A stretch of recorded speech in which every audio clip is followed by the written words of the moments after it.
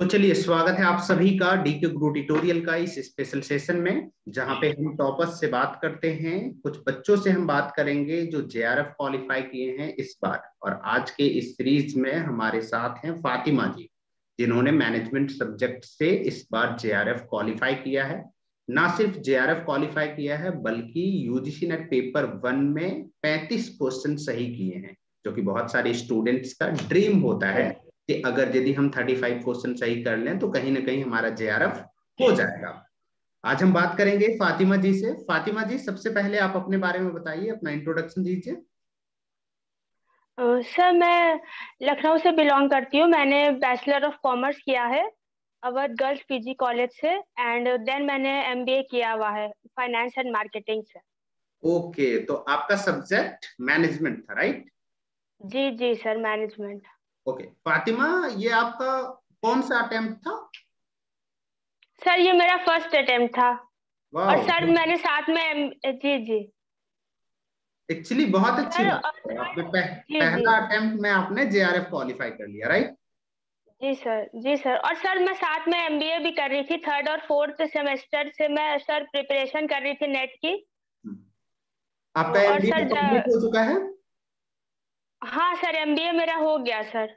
Sir MBA में मेरे sir जी जी। MBA में भी सर मेरे लास्ट सेमेस्टर में 88 परसेंट आए थे और सर जेआरएफ भी हो गया।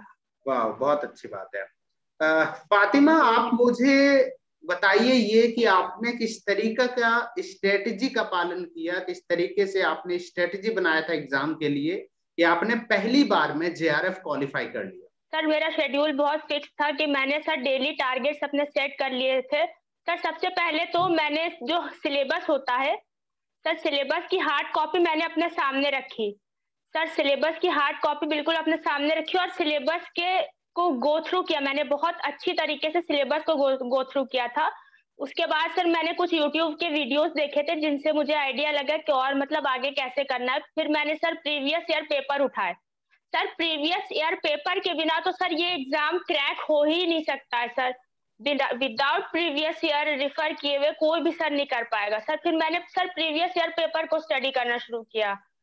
सर, उसके जो जो टॉपिक्स आ चुके थे, सर, पहले किस तरह का पैटर्न क्या था, क्या ट्रेंड चल रहा था, सर, मैंने वो एनालाइज किया। फिर धीरे धीरे सर, मुझे मतलब समझ में आने लगा। सर स्टार्टिंग के डेज़ में जब आप प्रिपेयर करना शुरू करोगे, तब आपको इतना नहीं समझ में आता है। कि कैसे क्या करना है पेपर वन स्टार्ट कैसे करे पेपर टू कैसे करे? क्योंकि सर पेपर टू का जो सिलेबस है वो बहुत ज़्यादा बड़ा है। पेपर वन तो सर मुझे लगता था कि सर शायद मैं पेपर वन में कर लूँगी लेकिन सर पेपर टू मेरे लिए एक बहुत बड़ा चैलेंज था सर पेपर टू को टैकल करना सर बहुत मुश्किल था मेरे लिए। जी तो आपने पूरे सिलेबस को बेसिकली स्टडी किया सिलेबस का हार्ड कॉपी आप हमेशा अपने साथ रखे साथ ही साथ, साथ सर रोज में जी जी।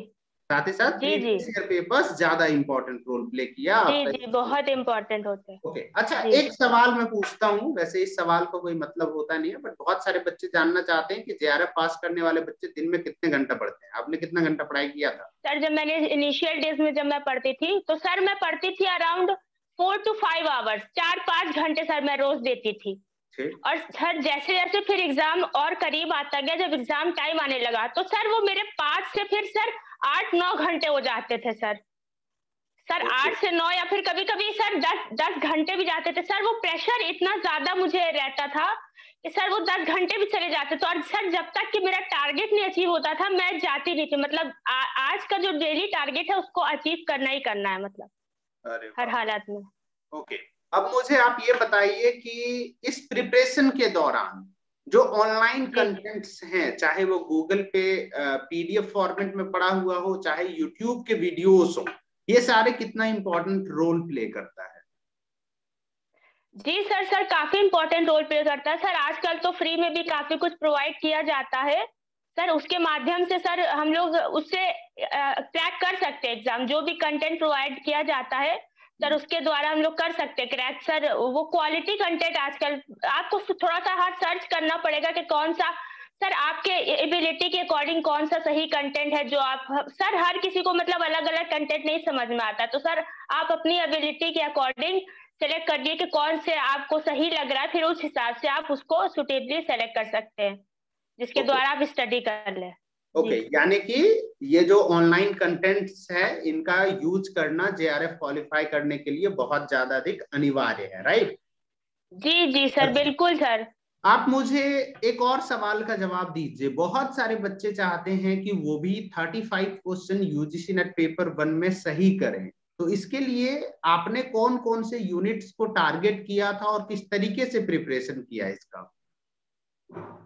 सर uh, मैंने जो आठ यूनिट्स थे, सर। उनको बहुत तगड़ा, सर, मैं बताती हूँ। Sir teaching research ICT communication sir, इनको तो मैंने बहुत टारगेट किया था, बहुत सॉलिड तरीके से इनको पढ़ा था। और आरसी सर आरसी बहुत स्कोरिंग है, सर, लेकिन आरसी में बस ये है कि आपको प्रैक्टिस चाहिए रेगुलर प्रैक्टिस तो आपने कुल मिला के आठ यूनिट कौन से यूनिट है जिसको आपने टारगेट नहीं किया था या फिर थोड़ा कम ध्यान दिया था? सर, मेरे लिए sir people development and environment and higher education. Sir, ये मुझे बहुत ज़्यादा मतलब प्रॉब्लमेटिक लगते थे। मेरे हिसाब से मतलब मुझे इतने ज़्यादा ये मैं इनको नहीं मतलब कर पाई सर सही से। बस ओवरव्यू एज एन ओवरव्यू मैं इनका लेके गई थी। सर, इनके मैंने प्रीवियस ईयर क्वेश्चन हाँ ज़रूर देखे थे कि किस टाइप के क्वेश्चन आते हैं, क्या होता है मतलब प्रीवियस ईयर पेपर क्वेश्चन जो है मैं इनके देख के गई थी। अच्छा। और डीआई का प्रिपरेशन आपने कैसे किया था? सर डीआई के प्रिपरेशन के लिए सर मैंने यूट्यूब के वीडियोस देखे थे। सर उनसे मुझे काफ़ी हेल्प मिली थी। सर उनसे पता चल जाता सर डीआई तो आपका प्रैक्टिस आता सर रेगुलर प्रैक्टिस चाहिए। उसके बेसिक्स जो है सर आप क्लियर करें तो सर डीआई हो सकता। है सर डीआई में मैं ये नहीं कह रही हूँ कि पाँच में से पाँच ही सही करके आए, लेकिन एटलीस्ट तीन तो टारगेट करे। तीन आप कर सकते हैं सर मेरी एबिलिटी के अकॉर्डिंग जो मुझे लगा। तो सर मेरे पाँच में से चार डीआई सही हो गए थे इस बार। ओके चलिए वेरी गुड तो कुल मिला जुला के डीआई का कहानी भी यही है कि डीआई को आप जितना प्रैक्टिस करेंगे उतना आप सही कर सकते हैं। यहाँ तक मैं बच्चों को कहता हूँ कि डीआई में आप पाँच में से पाँच टारगेट कीजिए क्योंकि मुझे लगता है कि सारे के सारे दस यूनिट में से सबसे आसान कुछ है तो डीआई ही है, है। जी जी। हम आपसे ये जानना चाहते हैं कि आगे जो बच्चे एग्ज़ाम देने वाले हैं उसके लिए आप क्या टिप्स देंगे? वो क्या करें कि वो भी आपकी तरह जे क्वालिफाई कर जाए सर जे क्वालिफाई करने के लिए, सर, उन लोगों को, सर रेगुलरिटी आनी चाहिए। सर, जब वो लोग पढ़े तो सर इंटरेस्ट से पढ़े। सर, उसमें इंटरेस्ट डेवलप करे। सर बुक से थोड़ा सा फ्रेंडली हो जाए। हाँ उन लोग नॉलेज नॉलेज के लिए मतलब कीन होना चाहिए। नॉलेज और गेन करे वो लोग। तब जाके उन लोग का हो सकता है सर। और सर आपको कंसिस्टेंसी मेंटेन करके रखनी है सर। रोज वही करना है मतलब रेगुलर बेसिस पे करना है। ऐसा नहीं कि एक दिन करा फिर दूसरे दिन छोड़ दिया तो नहीं हो पाएगा ऐसे मेरा। चलिए ओके। फातिमा जी बहुत बहुत धन्यवाद। आपने लगभग लगभग सभी सवालों का जवाब बहुत ही बेहतर तरीके से दिया उम्मीद करते जी। जी सर मैं एक बात कहना चाहूँगी। सर आपका जो मेरा आपका एक वीडियो था सर रेशियो एंड प्रोपोर्शन का। सर आपने डाला हुआ था। तो उसमें सर एक था सर क्या आपने कहा था कि 60 परसेंट क्वेश्चन तो सर रेशियो प्रपोर्शन के इसी टाइप के आते हैं। तो सर मैं वो वाला वीडियो देख के गई थी। सर मुझे इतना मोटिवेशन फील हुआ था कि सर आपने जब बोला था कि हाँ यहीं से आते सर मैं वो करके गई थी वाले क्वेश्चन बिल्कुल। तो चलिए उम्मीद करते हैं कि आगे जो बच्चे एग्ज़ाम देंगे उसको आपके इस मोटिवेशनल जो एक तरीके से कह सकते हैं इंटरव्यू है इनका लाभ मिलेगा।